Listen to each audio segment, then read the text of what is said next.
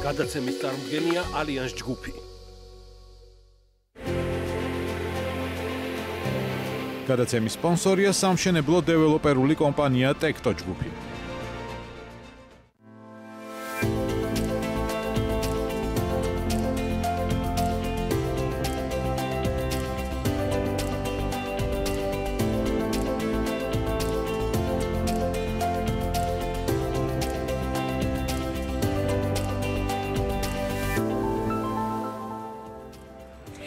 დღემშვიდობისა BMG TV-ს პირდაპირ ეთერში 25 ივლისის უძრავი ქონების პროსპექტს ვიწყებთ ეთერს ტრადიციულად თეთია ჩაფიჩაძე და გუგა კოპახიძე გაუძღვებით.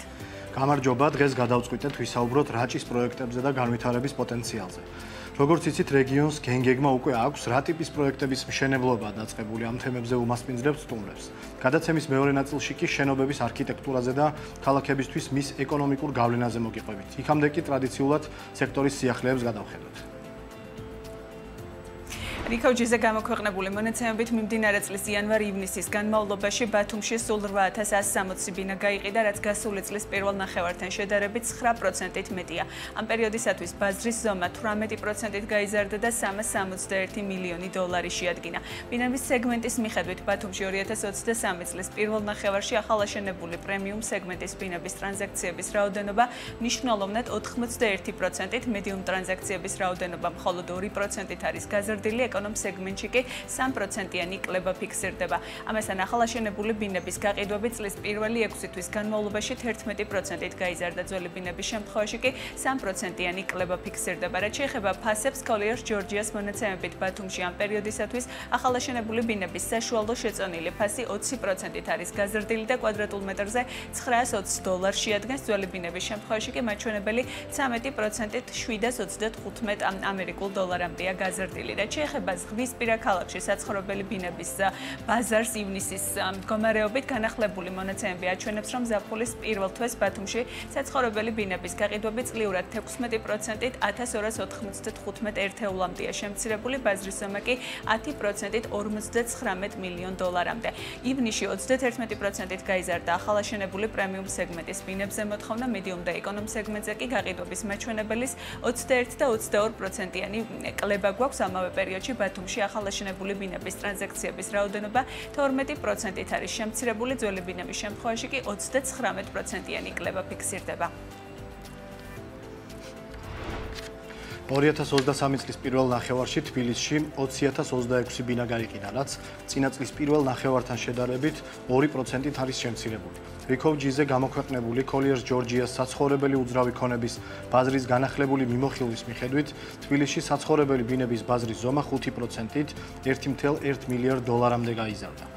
დედაქალაქში მოთხოვნის ზრდა ყველაზე მაღალ პრემიუმ სეგმენტს, პრემიუმ სეგმენტის ბინებზე იყო, რაც 44%-ით გაიზარდა. მედიუმ სეგმენტში კი მაჩვენებლის 28%-იანი ზრდა დაფიქსირდა. რაც შეეხება ეკონომ სეგმენტს, ტრანზაქციების რაოდენობა 15%-ით 7890 ერთეულამდე შემცირდა. თბილისში ახალ პროექტებში ტრანზაქციების 0.4%-იანი კლება ფიქსირდება ასევე.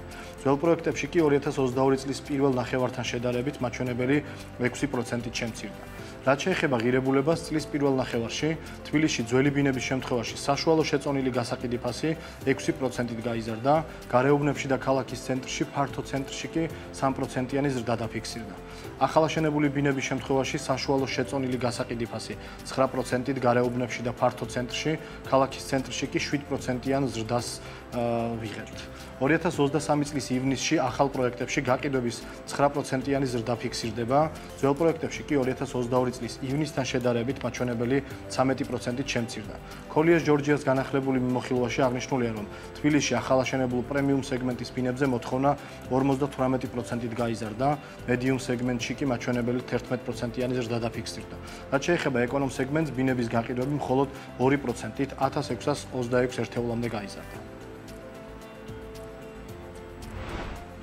უძრავი ქონების ფასი სავარაუდოდ 15%-ამდე მოიმატებს ამის შესახებ დეველოპერული კომპანია არქის დამფუძნებელმა ილია წულაიამ BMGTV-ს გადაცემა წერტილში განაცხადა. წულაი აღნიშნულ პროგნოზ რამდენიმე ფაქტზე დაყრდნობით აკეთებს. პირველი ეს არის გაძურებული მიწის ფასი, მეორე გაზრდილი სამშენებლო ღირებულება და მესამე სახელმწიფო ბიუჯეტი. ფასების ზრდის მიუხედავად კომპანიაში ამბობენ, რომ წელს არქის ისტორიაში ყველაზე მეტი უძრავი ქონება გაიყიდა ვიდრე სხვა ანალოგიურ პერიოდებში. მთავარი ახსნა კი უძრავ ქონებაში ინვესტირების გაზრდილი ინტერესია. საქსტატმა საქართველოს საცხოვრებელი უძრავი ქონების ფასების ინდექსი მეორე კვარტლის მაჩვენებლები გამოაქვეყნა, რომელიც თბილისის თბილისით შემოიფარგლება და მხოლოდ ახალი საცხოვრებელი უძრავი ქონების ბაზარს, როგორც მრავალსართულიანი სახლების, ისე კერძო სახლების სეგმენტებს მოიცავს.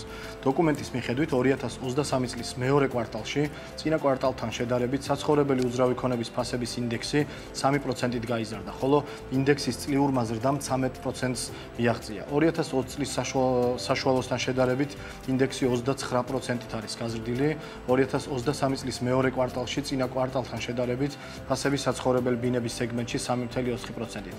კერძო სახლების სეგმენტში კი 1.6%-ით გაიზარდა. 2022 წლის მეორე კვარტალთან შედარებით ფასების ზრდა ორივე სეგმენტში დაფიქსირდა, აქედან ბინებზე 10.6%-ით, ხოლო კერძო სახლებზე 16.2%-ით.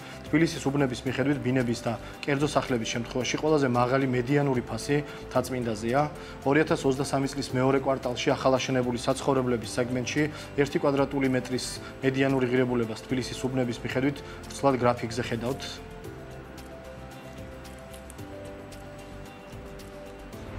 მრავალწლიანი განხილვის შემდეგ გასული წლის ბოლოს შოვის განაშენიანების გინგიგმა დამტკიცდა მთავარი გამოწვევა კი ამ ეტაპზე მისი აღსრულება. ერთ-ერთი მსხვილი პროექტი, რომლის განხორციელებაზეც ადგილზე ყაზახური ინვესტიციით გეგმავს კომპანია, ეს არის სიმეტრია, რომელიც ამ ყველაფერს უზრუნველყოფს. სამი თვის წინ კომპანიაში აცხადებდნენ, რომ ამ ეტაპზე მესაკუთრეები მუშაობდნენ იმაზე, რომ შოვის განაშენიანება ერთი გეგმის მიხედვით მომხდარიყო კომპანიაში. ამბობდნენ იმასაც, რომ ტერიტორიაზე შესაბამისი ტურისტული ინფრასტრუქტურის მოწყობას საშუალოდ 8 წლიანი პერიოდი დასჭირდა. გაზრდება ჯამური ინვესტიცია კი მხოლოდ მათი მხრიდან 140 მილიონი დოლარი იქნება.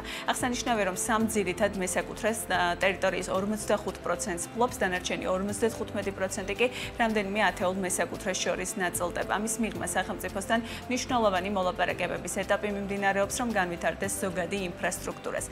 რაც გეგმავს სიმეტრია შოუში, როგორ ხედავს დღეს ინვესტორი კურორტის განვითარების შესაძლებლობას, დეტალებით ირაკლი ბერეკაშვილი, დეველოპერული კომპანია სიმეტრია საინვესტიციო პროექტების მართვ მართველი გვერდდება სტუდიაში, რომელთანაც უნდა გადავინაცვლოთ და უფრო მეტი განახლებული დეტალი მოვიკითხოთ. დღემშვიდობისა ბატონი რეკლი, მადლობა თქვენი დროისთვის.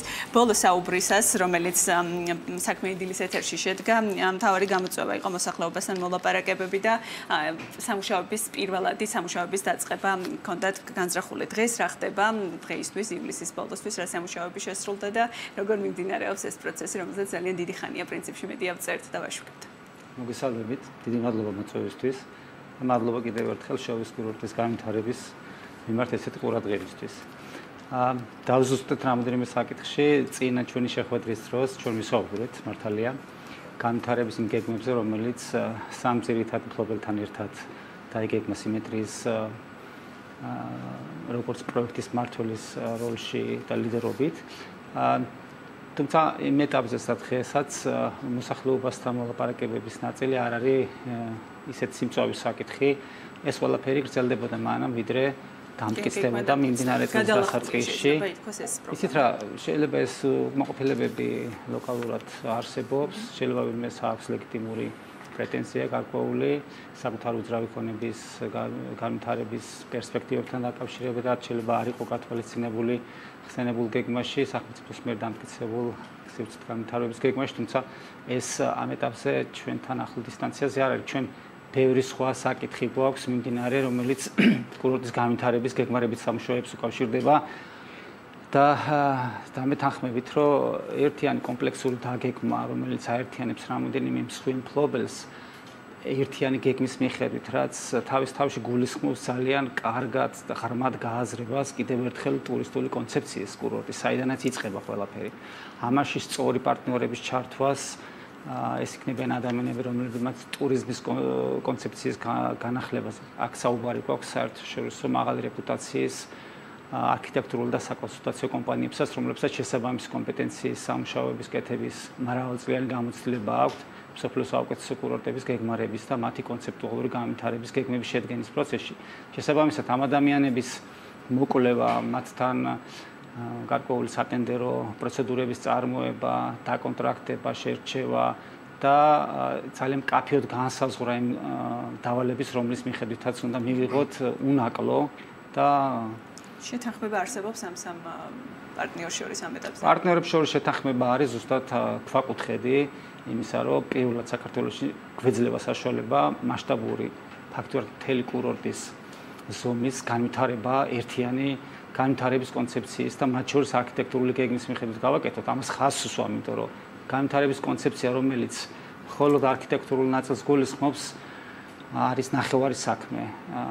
სრულყოფილება არის მაშინ, როცა და სწორი დაგეგმა კურორტის არის, როცა შინაარსობრივად ტურისტული კონცეფციის თვალსაზრისით არის ურთიერთ ბმა მოთამაშეებს შორის მათ მიერ გასავითარებელ სხვადასხვა ფუნქციონალის უზრაუქონებას შორის და ამის საფუძველზე და ამის შესაბამისად ვითარდება უკვე არქიტექტურული კონცეფცია პირველ რიგში გენერალური განვითარების გეგმის მიხედვით, რომელიც ეფუძნება ბუნებრივია იმ განვითარების ზონებს, რაც სახელმწიფოს მიერ დამტკიცებული გენგეგის მიხედვით არის უკვე იდენტიფიცირებული თავის პარამეტრებით, სამშენებლო მოცულობებით და ასე შემდეგ.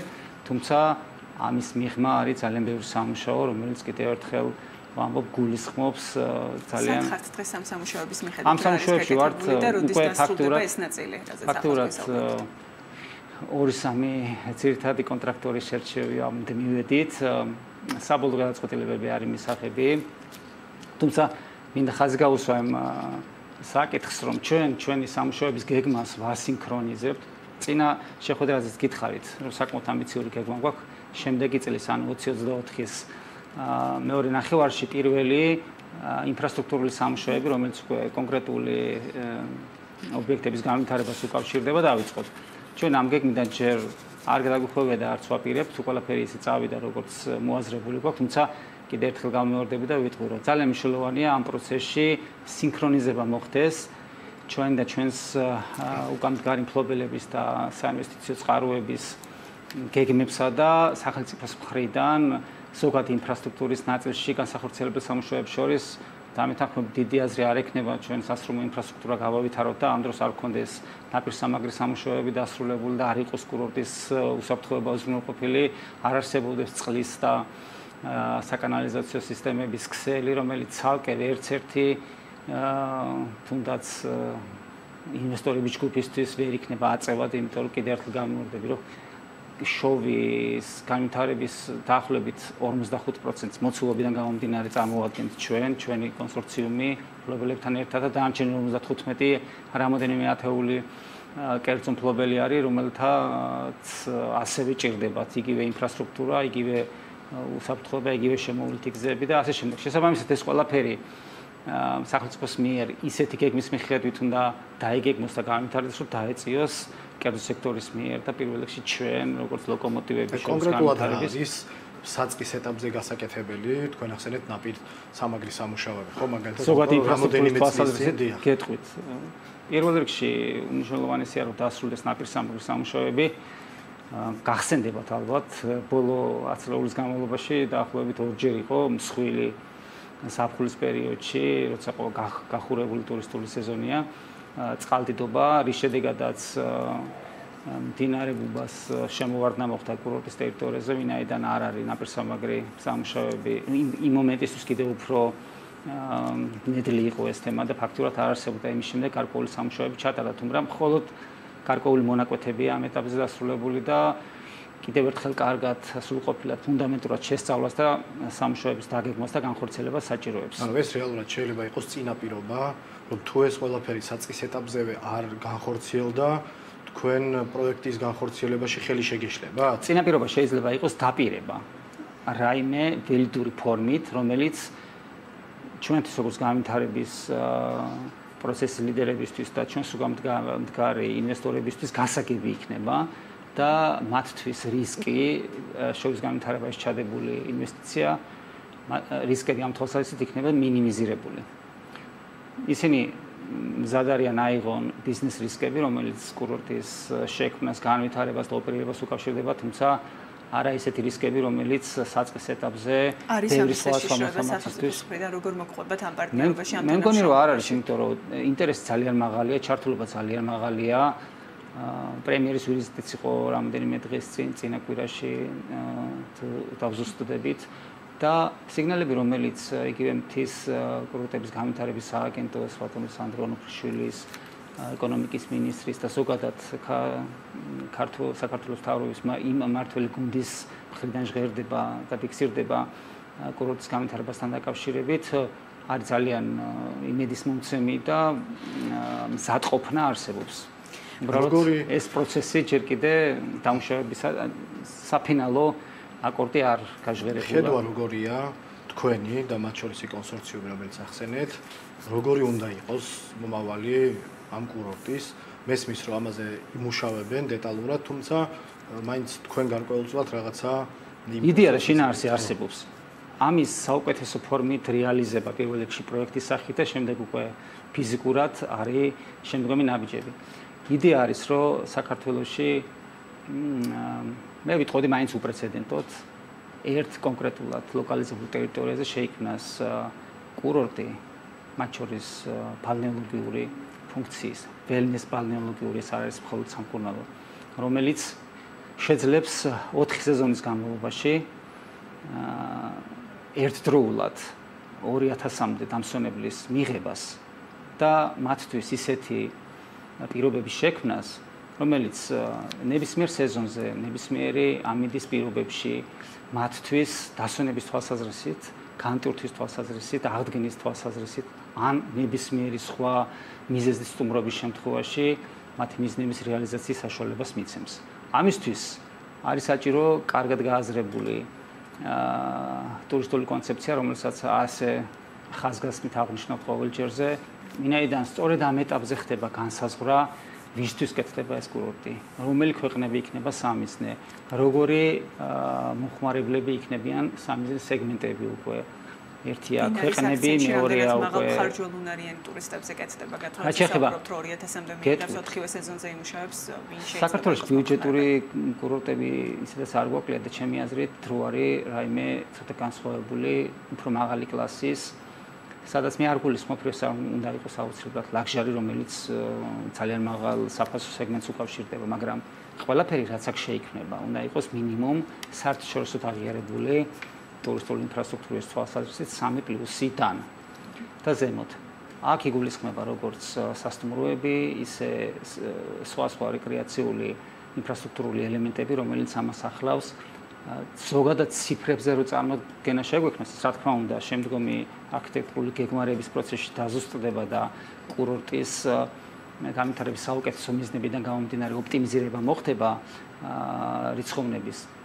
ამ ეტაპზე პირველად გეგმარების მიხედვით დაახლოებით 1200 ოთახი უნდა შეიქმნას, საიდანაც 700 ოთახი ეს არის წმინდა სასტუმრო ინფრასტრუქტურა, რომელიც გადანაწილებული იქნება 3-დან 5 ვარსკვლავიან სეგმენტში და ამას გარდა დაახლოებით 500 ოთახამდე ასევე მაღალი კლასის 3+ რომელ ბრენდებთან თანამშრომლობთ? აპარტამენტული, რომლის გაყიდვა ხდება და მართვა. რაბზანეთ? რომელ ბრენდებთან თანამშრომლობთ შეგვიძლია ახსენოთ? ბრენდებთან თანამშრომლობა მხოლოდ გენერალური გეგმის განვითარების შემდეგ არის შესაძლებელი, იმიტომ რომ იქ ზუსტი რაოდენობები უნდა იყოს, უნდა კონდეს ზუსტი ბმა განვითარების წერტილებს შორის და მას შემდეგ რაც შინაარსობრივად კარგად ვიცით, შეგვიძლია მივიღოთ ძალიან კარგი შეთავაზება ერთი ან რამოდენიმე ბრენდისგან. მოცულობა სამ შემთხვევაში და საერთო აა ხედვას რა იქნება მომავალში ეს კურორტი დასრულების შემდეგ? აქ ძალიან დიდი მნიშვნელობა მათ შორის ამ ტიპის პარტნიორების სამშობლოში გულისხმობა ბრენდები ვისთან თანამშრომლობას ვაპირებთ განვითარების პროცესის შემთხვევაში. 4 სეზონი ახსენეთ თქვენ? პრაქტიკულად საქართველოში 4 სეზონიანი ის ნამდვილი 4 სეზონიანი იყოს. მე ესეთი კითხვა გამიჩნდა.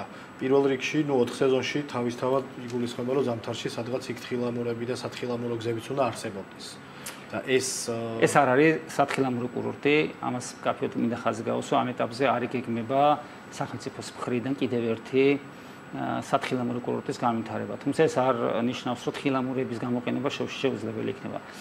შოვის თვითონ ლანდშაფტი გვაძლევს საშუალებას რომ ეგრეთ წოდებული cross სკი მიმართულება განვავითაროთ, რაც გულისხმობს დაბალი დახრილობის ტერიტორიაზე გადაადგილებას თხილამურებით განსხვავებული ტიპით, არა ისეთების, რომელიც დაშვებისთვის არის განკუთვნილი, მაგრამ ეს არის ძალიან სახალისო, ეს არის ძალიან კარგი ფიზიკური მომზადების თვალსაზრისით.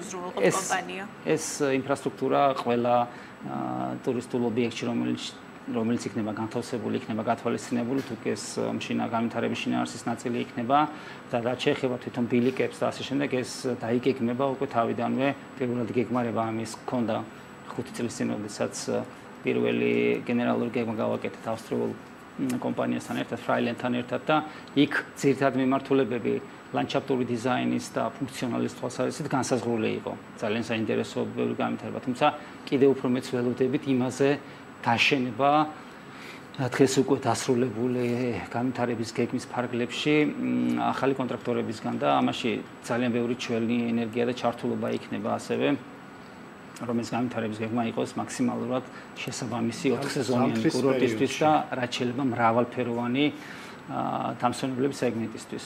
და ეხლა არის უკვე ორი ორი შესაძლებლობა, ხო? სამი უბრალოდ რაჭაში მოხვედრის, ერთი ნაკერალადან, ეხლა უკვე საჩხერი საჩხერის გავლით და პლუს ნუ ფრენებია, რომელიც ნუ ზამთარში უფრო იშვიათად შეიძლება რომ ახორციელდეს. ეს რამდენად ხელის შემწყობიან პირიქით, ხელის შემშლელი შეიძლება იყოს, იმიტომ რომ ორივე უღელტეხილი ზამთრის პერიოდში საკმაოდ ისეთია. გზები იკეთება. გამოწვევები არის, მაგრამ აბსოლუტურად შესაძლებელია, რომ საჩხერიდან გადასასვლელი უნის რაიონში რაც ბოლო პერიოდში გაკეთდა და სამ ფანტასტიკური შედეგია. 3 საათში თბილისიდან შოვის კურორტზე ხართ. 17 სიჩქარის გარეშე. ყველანაირი მოძრაობის წესების დაცვით. გზა ძალიან ლამაზია, უღელტეხილის გაწმენდის სამუშაოებიც არ წარმოადგენს, არ არის ძალიან რთული რელიეფი. შესაბამისად, ამ ნაწილში დიდ გამოწვევებს ვერ ხედავთ. უბრალოდ უნდა რა უნდა შეიქმნას? კიდე გარდა 1200 ნომრის, რაზეც ისაუბრეთ, რა არის ის ინფრასტრუქტურა, რასაც გეკმოთ 140 მილიონი დოლარის ფარგლებში თუ სწორად მოგსვრით, თუ არ შეცვლა მიმართულებით, რა ტიპის ინფრასტრუქტურა დახდება და უშუალოდ სამუშაოებზეც მინდა რომ გკითხოთ, რადგან ჩვენი დრო იწურება, მინდა რომ მოვასწროთ, 8 წლიანი პერიოდი იყო დასახელებული, ხომ პერიოდი არ შეცვლა ამ ეტაპზე, იგივე დროის გრაფიკს უკავშირდებით 24 წელში პირველი განვითარების შეიძლება მით სამუშაოები იყოს რომელიმე კონკრეტული ობიექტის, მაგრამ დავიწყოთ და ამისთვის საკმარისი დრო გვაქვს გენგეგის დასასრულებლად, რომელსაც წლის ბოლომდე გეკმავთ, შემდეგ უკვე დეტალური არქიტექტურული სამუშაოების დასაწყებად, რომელმაც ჯერ ნებართვამდე უნდა მიგვიყვანოს და მეორე გაგრძელდეს ამ დეტალურ პროექტზე მუშაობა და მეორე უკვე კონკრეტული ფიზიკური სამუშაოების ამ პროცესის პარალელურად, რა თქმა უნდა, საინვესტიციო წყაროების შეკრას, დაპაკეტებას და თითოეული ფლობელის და განვითარების შინაარსის მიხედვით უკვე მიმართულების მისიმასაც გეკმავთ.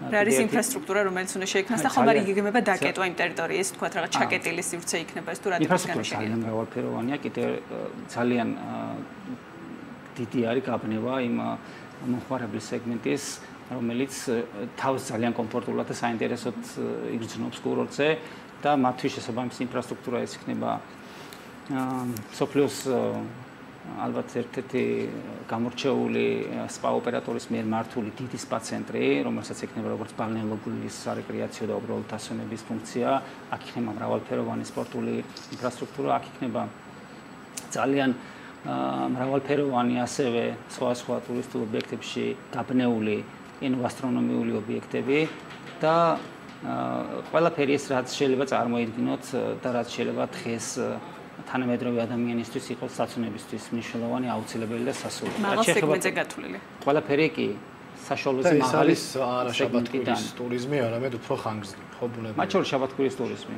ეს არის კიდევ ერთხელ ვამბობ, ბევრი სხვა სხვა ტურისტული სეგმენტისთვის საინტერესო დასვენება. აქ ახალგაზრდა წყვილის, ექსტრემალური დასვენების მოყვარულიც, სპორტსმენიც, ადამიანები, რომლებიც ინსულტის ან გულის დაავადებების შედეგად სარეაბილიტაციო პერიოდს გადიან და ასე შემდეგ, ყველანი იპოვიან თავისთვის სასურველ ინფრასტრუქტურას, მისთვის სასურველ სერვისების მიქსს და როგორც ლანდშაფტური ისე შენობების ინფრასტრუქტურა მორგებული იქნება მათ ყოველდღიურ საჭიროებაზე. რაც შეეხება თქვენს კითხვას ტერიტორიის დაკეტვასთან დაკავშირებით, ეს აქედანვე გადაწყვეტილია, რომ კურორტის ტერიტორიაზე მხოლოდ ელექტროკარებით მოძრაობა იქნება დაშვებული, განისაზღვრება კარგად პარკინგის ადგილები, განისაზღვრება პროდუქციის მიწოდების ადგილები, იქნება 2-3, განთავსდება შესაბამისი მიღების ობიექტები და ყველა ამ კურორტის ერთ-ერთი მთავარი არსის ის არის, რომ ის არა მარტო ერთი გეგმის მიხედვით ვითარდება, არამედ ერთი გეგმის მიხედვით იმართება. რაც ასევე უპრეცედენტო არის. ეს ეხება როგორც ტერიტორიის კეთილმოწყობას, ისე ზოგად ინფრასტრუქტურის ურთიერთ დაკავშირებადობას ერთმანეთთან ალბათ. ხო, კომერციული კავშირების, თენადობის, ტურისტების და სერვისების მიღების შესაძლებლობას და ასე შემდეგ. მადლობა ბატონო ირაკლი, საინტერესო პასუხებისთვის. ველოდებით ამ კურორტის განვითარებას და სამუშაოების რეალური სამუშაოების დაწყებას. მადლობა რომ იყავით ჩვენი სტუმარი. ჩვენ კი რაჭაზე უნდა გავაგზავნოთ ისევ საუბარი. რაჭაში შაორის ტბაზე რეზორტის ტიპის სასტუმრო კომპლექსი შენდება. ინვესტორის სავაჭრო ცენტრების მართველი კომპანია IG Development-ია. კომპანიამ ტბის პირველ ზოლში მდებარე 29693 კვადრატული მეტრი მიწის ნაკვეთი ელექტრონული აუქციონის წესით ქონების ეროვნული სააგენტოსგან 2022 წელს შეიძინა, რომლის განვითარებაზეც მისი შვილობილი კომპანია City Development იზრუნებს. გასულ წელს BMG-ის კომპანიაში უთხრეს, რომ ტერიტორიაზე 120 ნომრიანი კომპლექსი გაშენდება, რომელიც სრულად აღჭურვილი იქნება როგორც ბავშვთა, ისე მოზარდთა დასასვენებელი და გასართობის სივრცეები. პროექტის ჯამური ინვესტიცია 20 მილიონი დოლარია. City Development-ში ამბობენ, რომ შაურზე სასტუმროს განსაკუთრებული მოდელი შეიქმნება, რომელიც სამაგალითო იქნება არა მხოლოდ რაჭის, არამედ მთელი საქართველოსთვის. რა ეტაპზეა სამუშაოები? დეტალებს გიორგი ებანოიძე, City Development-ის კომერციული დირექტორი მოგვიყვება, რომელიც სტუდიაში გვერდება. მოგესალმებით, გიორგი. გამარჯობა, მოგესალმებით. რაჭული დღეები გამოგვივიდა გადაცემაში. ბატონო, დიდი სიმე, ძალიან ბედნიერი ვარ ამ ყოლაფრით. ესე იგი, ანონსში ძალიან საინტერესო რაღაცები წავიკითხე და მოდით პირველ რიგში. თუმცა ეს ინფორმაცია მოითხოვს განახლებას. დიახ, დიახ, ზუსტად ეგ მინდოდა რომ დამეზუსტებინა, რომ რა ხდება დღეს. როგორი მდგომარეობა დაიწყო რამე თუ რა პროცესია? პირველ რიგში მოგესალმებით, მივესალმები მაყურებელს, მადლობა ამ პროექტით დაინტერესებისათვის. ამჟამად პროექტი ესე ვთქვა დამუშავების ეტაპზე არის. მიუყვებით იმ პროცედურებს რომელიც ასა აუცილებელი არის. შესაბამის ნებართვების სასაღებად ეს გახლავთ განაშენიანების დეტალური გეგმის დამუშავება შემდგომ უკვე კონკრეტულად პროექტირება. ამ ეტაპისათვის ყველა უწყებიდან შესაბამისი თანხმობები მიღებული გვაქვს და ვარაუდობთ რომ პროექტის შესთანხმება ზამთარში დასრულდება და მომავალი წლის გაზაფხულიდან, როდესაც ამ მეტეოროლოგიურ პირობებს საშუალებას მოგცემს, უკვე დავიწყებთ. ვადებში ხომ არა ეს იმი ჩამორჩენა ჩვენ წინა სტუმრობებისას მახსოვს რომ თქოს უფრო სწრაფად უნდა დაწყებულიყო და დასრულებულიყო ეს რაღაცა პროექტირების ნაწილი და უშუალოდ სამუშაოები ამ კუთხით რაიმე გადახედო ხომ არა. რეალურად ჩამორჩენა არ გვაქვს, იმიტომ რომ ეტაპები რომელიც ჩამოთვალე საკმაოდ მოცულობითი არის და კი ბატონო, საკმაოდ ვადები ჭირდება. სამუშაოებს კი მომავალ წლის გაზაფხულიდან გეგმოთ რომ დავიწყოთ. ან თქვენ ინდივიდუალურად ამუშავებთ ახლა გენგეგმას და ყველა იმ საჭირო პროცედურას, რაც იმ ტერიტორიისთვის არის საჭირო, რომ მოგეცეთ თქვა უფლება და არა თქვა რაღაცა სახელმწიფო დონეზე კონკრეტული ერთი გეგმის მიხედვით არ მიყვებით კონკრეტულად თქვენ ამუშავებთ რაღაცა დეტალურ პროექტს. აა ნახეთ ადგილობრივმა მუნიციპალიტეტმა დაამტკიცა თუ არ ვცდები 2018-2019 წლებში შაორის განვითარების გენგეგმა, თუმცა ეს გენგეგმა ზოგადი არის და მოითხოვს განაშენების დეტალური გეგმის დამუშავებას.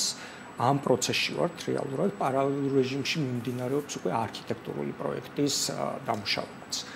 გარკვეული დაზუსტებები ამ განაშენების დეტალური გეგმით შეტანილი იქნება გენგეგმაში და შემდგომ გაიცემა უკვე მშენებლობის ნება. გენგეგმა რომელზეც თქვენ საუბრობთ არის უფრო განაშენიანების კუთხით შექმნილი თუ ასევე არსებობს რაიმე კონცეფცია თუ როგორი უნდა იყოს ზოგადად შაორის ტბის გარშემო ტურისტულად რა რა სივრცეები უნდა შეიქმნას და ვიზზე უნდა იყოს გათვლილი. კი ბატონო, გენგეგმა როგორც წესი ეს მხოლოდ ზონირება და მხოლოდ სქემატური ნახაზები არ არის, ამ გენგეგმა საფუძვლად უდევს კონცეფცია, ზოგადად როგორ წარმოუდგენია სახელმწიფოს როგორი უნდა იყოს შაორის ტბა. შესაბამისად გენგეგმაში გათვალისწინებულია სასტუმროები ზუსტად იმ ადგილას, სადაც ჩვენ გვეკმავთ რომ გავაკეთოთ გათვალისწინებულია სხვა საზოგადოებრივი ინფრასტრუქტურაც, ასე ვთქვათ, პლაჟები, ბასეინები და სხვადასხვა ინფრასტრუქტურა, მათ შორის ველოსიპედის ბილიკები და ასე. რა არის ის, რაზეც თქვენ მუშაობთ, რა ტიპის ინფრასტრუქტურის შექმნა შეიძლება ველოდოს მომხმარებელი ტურისტები IG development-ისგან? აა, ნახეთ, რეალურად პირველი მერცხლები ვართ. რაჭა მეუხედავად იმისა, რომ ძალიან ლამაზი რეგიონი არის სამწუხაროდ. ტურისტულად ასეთი განვითარებული არ არის. შესაბამისად არ ვართ მაინდა-მაინც განებივრებული ამ რეგიონში ნამდვილად. დიახ. შესაბამისად, სანამ ჩვენ უშუალოდ პროექტზე უშუალოდ სასტუმროზე გადავიდოდით, ჩავატარეთ საკმაოდ დეტალური კვლევა, საიდან შეიძლება ტურისტები რა გზით რამდენხნიანი დამსვენებლები და ამის მიხედვით შეირჩა კონცეფცია. აღსანიშნავია ის, რომ ქუთაისში გვაქვს საერთაშორისო აეროპორტი, რომელიც საერთაშორისო ტურისტებს ემსახურება და სულ 1 საათის 2 საათის სავალი არის ქუთაისიდან და ძალიან ადვილად შეიძლება საერთაშორისო მომხმარებლების მოზიდვა, ასევე აღსანიშნავია ისიც, რომ 15 წუთის სავალზე ლოკალური აეროპორტი გვაქვს, სადაც თბილისიდან ხორციელდება ფრენები, ასე რომ ამ სეგმენტზე ამ მომხმარებელზე გავთვალეთ. ეს გახლავთ რეზორტის ტიპის აა ისე ვთქვათ უამრავი გასართობის საშუალებებითა და ფუნქციებით დატვირთული სასტუმრო.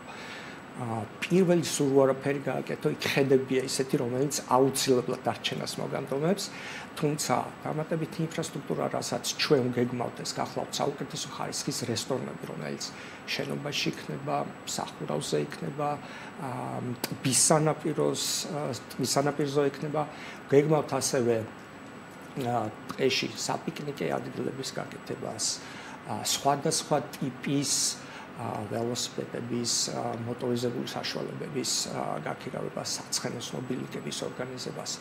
ასევე გვინდა აქტიურად გამოვიყენოთ წყლის ზედაპირიც, სადაც იგეგმება ნავსაყუდალის გაკეთება, რომელიც გათვლილი იქნება როგორც მოტორიზებულ საშუალებებზე, ასევე წყლის ველოსიპედებზე, ნავებზე და ასე. რაც ალბათ ერთ-ერთ გამორჩეულს ნამდვილად გახდის, იმიტომ რომ საწყალოსნო ტრანსპორტი პრაქტიკულად სპორტიც მათ შორის ან თუნდაც სამოყვარულო არ არის განვითარებული და ალბათ შაური იქნება, ესე იგი პირველი მერცხალი მაგუთხითაც. კი ბატონო. რამდენ ნომრიანი სასტუმრო კომპლექსი შექმნა იგეგმება და რამდენ სართულიანი ესეც ალბათ მნიშვნელოვანია, როცა რაჭაზე ვსაუბრობთ, რა ტიპის განაშენიანება შეიძლება მიიღოთ შაურის ტბის მიხედვით. აა, კი ბატონო. ჩვენ სასტუმრო გენგეგმით არის სიმაღლე შეზღუდული და ეს უნდა იყოს არაუმეტეს 4 სართულისა. ჩვენი ასე ვთქვათ მიზანი ზუსტად ის იყო რომ სასტუმრო ჰარმონიულად ჩამჯდარიყო იმ ლანდშაფტში. შესაბამისად მაღალ განვითარებას არანაირად არ ვაპირებთ. ესე ვთქვათ ფასადით და გამოყენებული მასალებით მაქსიმალურად იქნება განემოსთან ესე ვთქვათ თანხwebdriver-ში 120 ნომერზე იქნება გათვლილი გვექნება საკმაოდ მოზრდილი საღონძიებო სივრცე, რომელშიც ღიაც და დახურული, რომელშიც როგორც ფესტივალების ჩატარება, ესე ცალკეული კერძო ღონისძიებების ჩათვალება იქნება, ჩატარება იქნება შესაძლებელი. ეს გახლავთ ძირითადი, ასე ვთქვათ, ნიშა რომელსაც გაკავებასაც აპირებთ. რა რა საფასო სეგმენტზე ფიქრობთ, ან ვინ შეიძლება იყოს მომხმარებელი გარდა თქვა ღია საკონფერენციო სივრცეებს, რომელზეც შეიძლება ადგილობრივი მომხმარებელს დაინტერესებს თქვა და შაბათ-კვირას გავიდეს, ამის გარდა ტურისტები ვიზია მთავარი აქცენტი და რა ტიპის, რამდენად მაღალმხარჯვულნარიან სეგმენტზე აკეთებთ აქცენტს. იქიდან გამომდინარე, რომ სასტუმრო გახლავთ საშუალოზე მაღალი დონის შესაბამისად კონკრეტულ ფასებს რა თქმა უნდა ამ ეტაპზე ვერ ვიტყვით, ყველაფერი დამოკიდებული არის გახსნის დღეს ბაზარზე ფასები იქნება. აუცილებლად საშუალო და საშუალოზე მაღალ შემოსავლიან მომხმარებელს მომსახურება. ჩვენი მიზანი არის რომ მოვიზიდოთ ქართველები ზაფხულის სეზონზე, რაც შეიძლება გრძელი ვადით სუფთა დასვენებისა და რეკრეაციის მიზნით. მათ განკარგულებაში იქნება ღიაუზები, დახურული აუზები, ტბაში აუზი, სპა და უამრავი სხვა საშუალება. და ასე ვთქვათ, დაბალ სეზონზე უკვე უცხოელ ჯგუფებს მოვემსახუროთ. რომლებიც დასავლეთ საქართველოს მოსანახულებლად იქნებიან ჩაის. აი სეზონურობაზე საუბრობდით. რა რა გათვლა გაქვთ დაახლოებით? აი დაბალ სეზონს რას ეძახით თქვენ და თუნდაც აი ზამთრის პერიოდში რა შეიძლება მიიღოს აქ ტურისტმა? ეხ, მაღალი სეზონი გახლავთ დაწყებული მთელი ზაფხული ფაქტიურად სექტემბრის შუა რიცხვების ჩათვლით დანარჩენი სეზონი შედარებით დაბალი არის. აა თუმცა იმისათვის რომ მოთხოვნა და სასტუმროს დატვირთულობა აუწიოთ სეზონების მიხედვით სხვადასხვა აქტივობები იქნება შეთავაზებული. აა ეს შეიძლება იყოს გარკვეული ფესტივალები, შეიძლება იყოს გარკვეული ღონისძიებები, სხვადასხვა სპორტული ღონისძიებები და ასე შემდეგ. რა ვადებს უყურებს დაახლოებით მაინც თუ შეგვიძლია ვთქვა, როდი შეიძლება შაურზე ამ ეს კომპლექსი მივიღოთ? აა სამშენებლო სამუშაოების ვადა დაახლოებით ორწლიანი პერიოდი იქნება. დღეიდან? არა, როგორც გითხარით, მომავალი წლის გაზაფხულზე, როდესაც მოგცემ საშუალება სამინდრო დაიწყოთ ფიზიკურად სამშენებლო სამუშაოები, აი ამ პერიოდიდან უკვე 2 წელი დაგჭირდა. გადაახლება. ეს იქნება 20 მილიონი დოლარის ინვესტიცია თუ ამ ნაწილში შეცვლილი არა? დაახლოებით ალბათ 20-30 მილიონი დოლარის ინვესტიციაზე არის საუბარი პირველ ეტაპზე ყოველ შემთხვევაში. ეს იქნება ახალი ქართული ბრენდი, ხო როგორ ხვდები და არა რომელიმე საერთაშორისო? ნახეთ ორივე მიმართულებით მუშაობთ, მზად ვართ რომ ქართული ბრენდიც იყოს, თუმცა სასტუმრო იქნება მთლიანად საერთაშორისო სტანდარტებზე გათვლილი შესაბამისად ნებისმიერი ბრენდის შემოყვანის შემთხვევაში ასე ვთქვათ, ადაპტირებული იქნებით.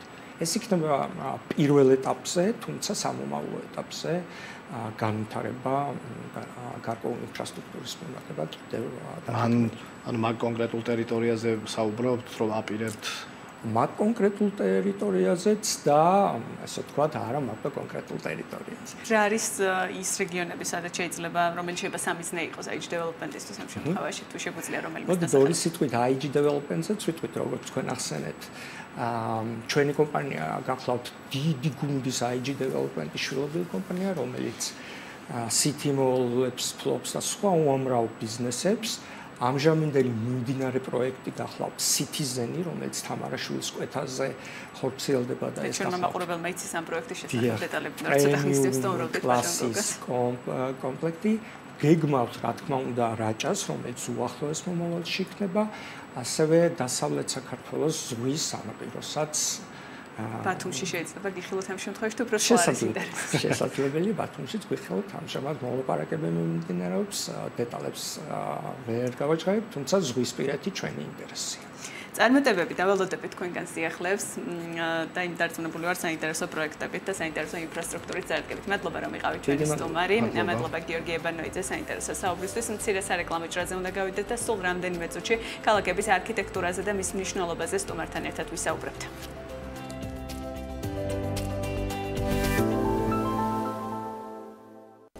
უძრავი ქონების პროსპექტის 25 ივლისის გამოშვებას ვაგრძელებთ BMG TV-ს პირდაპირ ეთერში. გადაცემის ამ ნაწილში არქიტექტურის როლზე ვისაუბრებთ. რამდენად ითვალისწინებენ ქართული სამშენებლო დეველოპერული ბიზნესი, ბიზნესის წარმომადგენლები მშენებლობისას არქიტექტურას და რა გავლენას ახდენს შენობების იერსახეზე ქალაქების განვითარებაზე ეს ყველაფერი. სტუდიაში არქიტექტორს გივი გოგრიჩიანს მასპინძლობთ. მოგესალმებით, ბატონო გივი. მოგესალმებით.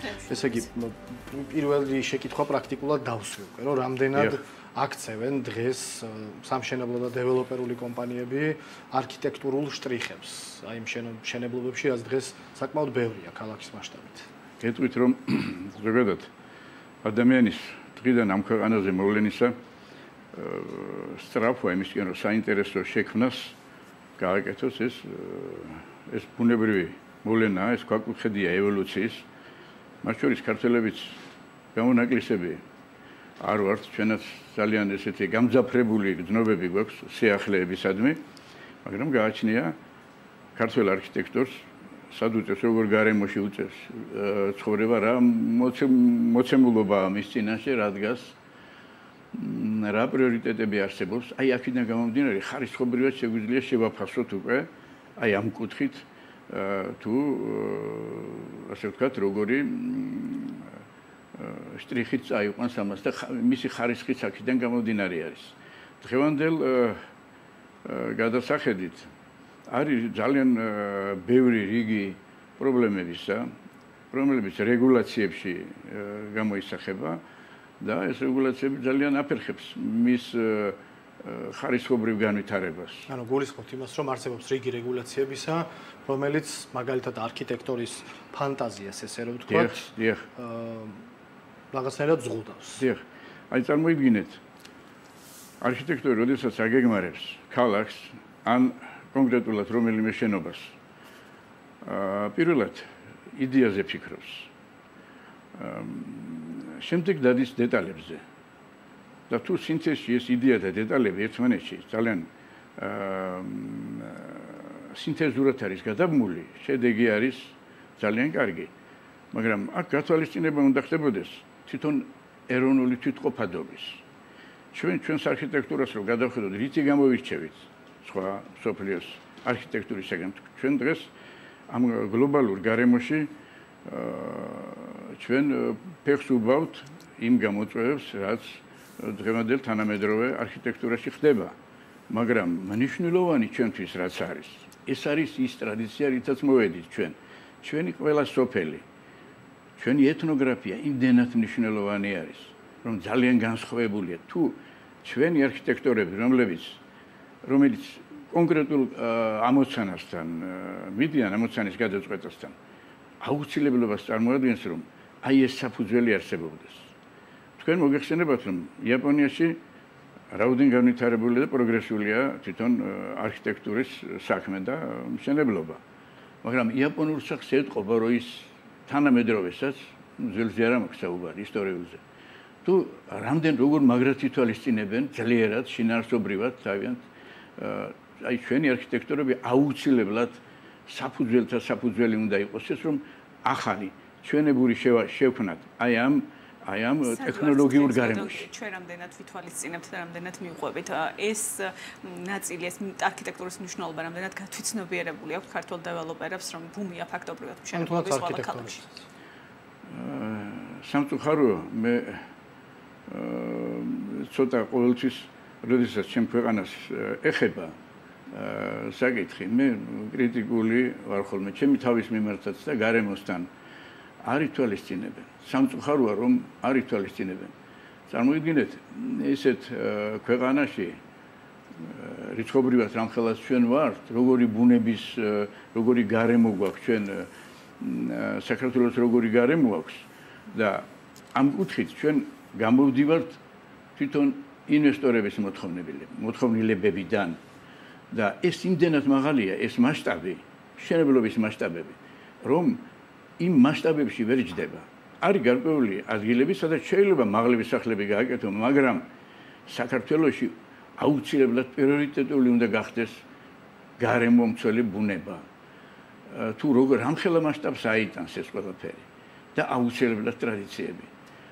ამ მომენტებს ნაკლებად ითვალისწინებენ. ამის მიზეზი არის ის, რომ მათ უბრალოდ შეიძლება ამის ინტერესი არ კონდეთ, თუ მაგალითად კომერციულად ისინი ფიქრობენ, რომ ეს ყველაფერი ნაკლებად მომგებიანი იქნება და ის, რასაც დღეს აკეთებენ, როგორ სახლებსაც აშენებენ, მაგალითად საცხოვრებელს, შეიძლება ეს უფრო ფინანსურად მათთვის უფრო მიმზიდველი იყოს. რა თქმა უნდა. რა თქმა უნდა, დღევანდელ ტექნოლოგიურ და ესეთ ბიზნეს გარემოში მოთხოვნილება არის რომ მით უმეტეს ისეთ გარემოში როგორც საქართველოა აშენდეს უფრო ტევადი, უფრო დიდი მოცულობის შენობები. არ არის პრიორიტეტული. საკითხის განხილვის დროს, როდესაც იხილება შენობის ავკარგიანობა, ავკარგიანობა აი ამ კონტექსტით არის ხილება.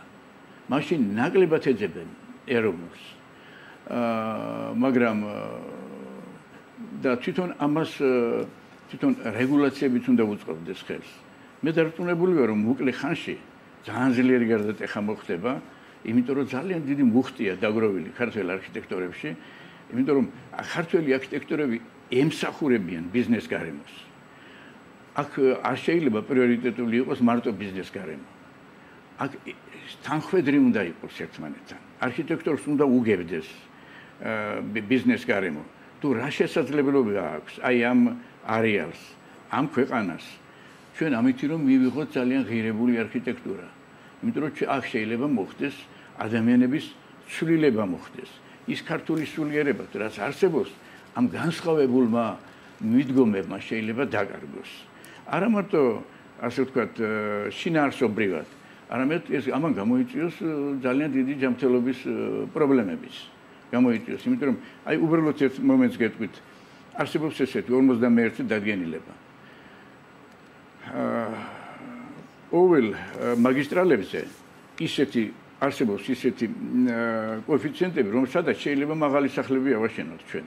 ამ დროს 51 დადგენილებით აა იქ ისეთი აა ვითარება რომ ეს მოითხოვს რომ მაღლივი შენობები კორიდორული სისტემით განვითარდეს. ამ დროს ეს ჩვენი ტრადიცია არ არის. როდესაც და ერთ ერთ მაგალითად შენობა არის ასე ვთქვათ ფასადში ძალიან ლამაზი, გარემოსაც ერწყმის, მაგრამ მისი შინაარსობრივი გადაწყვეტა ძალიან ბერხიფათთან არის დაკავშირებული. ჩვენ არ ვიცით რა პრობლემები შეიძლება აღმოჩნდეს ხვალ ზეგ, მაგრამ პარალელურად უნდა მუშაობდეს საგანგებო სიტუაციების სამსახური, უნდა მუშაობდეს აა სახანძრო სამსახურები. იმისაც რომ კრიტიკულ სიტუაციაში როგორ მოიქცეს, იმიტომ რომ ბევრ ხიფად შეიცავს. მე ყოველ შემთხვევაში ამ ხიფადზე ჯერ არ მსმენია რომ სადმე დისკუსია ჩატარებული იყოს. მერთმა დაიფაროს, იქ რამე ხანძარი მოხდეს, იქ დამოკიდებულია იმაზე რომ ის გამწვევებმა უნდა გაიტანოს ეს ყველაფერი და წარმოიდგინეთ თქვენ რომ მართალია 21 საუკუნეში ვართ, მაგრამ ხშირად თქვა დენის გათიშვები და ესეთი მომენტი და აქ შეიძლება კატასტროფული შედეგებიც კი მივიდეთ. რეგულაციებზე საუბრობთ წერა. ქალაქის ცენტრში, ცენტრალურ უბნებში რეალურად არსებობს უკვე ასეთი რეგულაციები, რომ გათვალისწინებული იყოს რაღაც კულტურული, რაღაცა ესეთი სხვადასხვა ელემენტები მშენებლობებში, თუ ჯერ კიდევ ესეთი რეგულაცია არ გვაქვს. და საჭიროა თუ არა ესეთი რეგულაცია თუნდაც ან მხოლოდ ქალაქის ცენტრალურ უბნებში, ან საერთოდ თბილისის მთელ ტერიტორიაზე.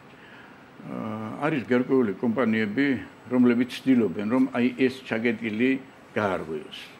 რომელთაც უწევთ ძალიან დიდი ძალის ხმების ჩადება უწევთ, მაგრამ უჭირთ მაინც ამის განხორციელება და ალბათ მოკლე ხანში მოხდება ამის გადაფასება მოხდება ამ ყოველივე იმის რომ შინაარსობრივად ის რაც იქმნება დღეს არქიტექტურა მოითხოვს უფრო დაზუსტებას, მოითხოვს უფრო მეტ პროფესიონალიზმს, მოითხოვს არ არის მარტო ის რომ ჩვენ შევძლოთ ავაშენოთ დიდი ფართები და იყოს შენობა არქიტექტურულად მისადაგი გარემოსთან. ეს მარტო არ არის საკმარისი. თვითონ ეს უნდა პასუხობდეს იმ გამოწვევებს, რომელიც შეიძლება ხვალდადღეს ზეგდადღეს. ბატონო, რა არის ფასი და ეკონომიკური სარგებელი არქიტექტურის ჩვენ საუბრის დასაწყისში? მამბობდით, რომ გამორჩეული იყო ქვეყანა მიმართულებით არქიტექტურულად ლამაზი ძეგლებით, ლამაზი შენობებით, ქუჩებით, რომელიც დღემდე შემორჩენილია. ჯამში ეს რა ეკონომიკურ ეფექტს აძლევს ქალაქებს, იგივე ტურისტებზე, როცა ვლაპარაკობთ, თავსაუბრობ ტურისტულ ქვეყანაზე, რამდენად ინტერესი, რამდენად მზარ დიდია ასეთი პროექტების, ასეთი შენობების მიმართ და დანაკარგი რა შეიძლება იყოს ათეული წლის წლის შემდეგ, როცა პირობითად შეიძლება სულ მივიღოთ ასეთ ტიპის განაშენიანება, რომელიც აღარ იქნება გამორჩეული არქიტექტურულად. აა მე შევეცდები მოკლედ გითხრათ, რომ ყოველი განვითარებული ქვეყანა, თუნდაც ამერიკა, ევროპა, ჩვენ იქ ტისტინი თავს იწონებენ, რომ თვითონ ქმნიან ამ ტექნოლოგიებს და ამიტომ რასაც ქმნიან ეს თავითავად მაგალითია იმისათვის, რომ აი თანამედროვე არქიტექტურა როგორ განვითარდეს. ჩვენ შემთხვევაში იმ დროს, როდესაც პრიორიტეტული მიმართულება საქართველოსი ტურიზმის. ვთქვათ, ტურისტი რატო ჩამოვა ჩვენთან? ჩვენთან არის განსხვავებული ეთნოგრაფია, განსხვავებული ისტორია. აი ეს არის ყველაფერი განსხვავებული და და აქ თუ კომფორტ შევუქმნით ჩვენ, ესე იგი ჩვენი არქიტექტურა პრიორიტეტული არ უნდა იყოს იქითკენ რომ დაუშვათ ჩვენ ვაშენოთ ძალიან მაღლივი შენობები. ჩვენ უნდა ინფრასტრუქტურა урბანული გარემო შექმნათ და და შექმნათ კომფორტული გარემო ძალიან, რომ აქ მომსვლელმა აა დაისვენოს და მოინახულოს ის ჩვენი ისტორია, რომლითაც ჩვენ ვამაყობთ. აქედან გამომდინარე აა ესე იგი აი ამ პრიორიტეტით უნდა განვითარდეს შინაარსობრივად. რამდენად იდეა რა შეიცვალა ტექნოლოგიურად არქიტექტურაში? ტექნოლოგიურად ჩვენ ტექნოლოგიის გარემოში ვართ. და ტექნოლოგია ყველაფერში ტექნოლოგია არის. ყოველდღიურად ეთყობა საქართველოსში რომ ტექნოლოგია ვითარდება. შემოდის ტექნოლოგია როგორც მშენებლობის სისტემაში, ასევე აგებულ შენობებში ტექნოლოგია ნამდვილად იგრძნობა და საჭირო არის ამ ეს ტექნოლოგია გამოყენებული იქნეს ესე იგი თანხwebdriver იყოს მე ყოველ გადადგმულ ნაბიჯს საქართველოს არქიტექტურაში საფუძვლად საფუძვლად მიმაჩნია რომ მან რაც არ უნდა აკეთებს, რასაც არ უნდა აკეთებდეს, გაითვალისწინოს მისი კულტურული მემკვიდრეობა. ის რაც არ გინდა თანამედროვე გარემოში და თანამედროვეობას აშენებდეს, ვინც ამას შეძლებს, ის ქართულ არქიტექტურაში შტრიხსაც შემოიტანს.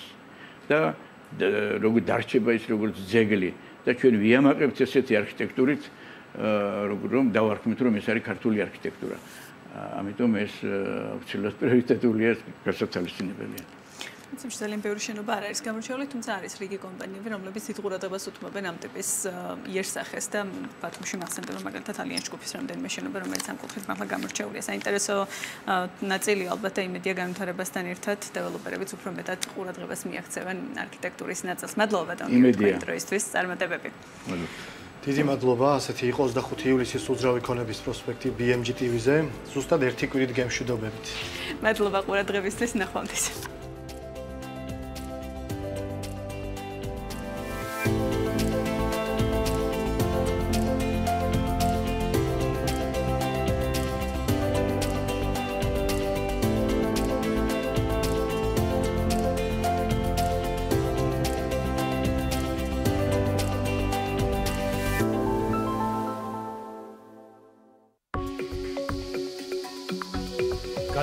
წარმოდგენია ალიანს ჯგუფი. გადაცემის სპონსორია სამშენებლო დეველოპერული კომპანია ტექტო ჯგუფი.